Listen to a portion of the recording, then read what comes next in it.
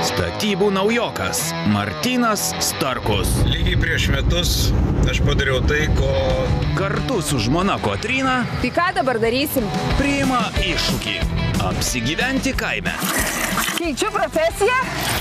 Nėra spaudimo. ir pastatyti namą.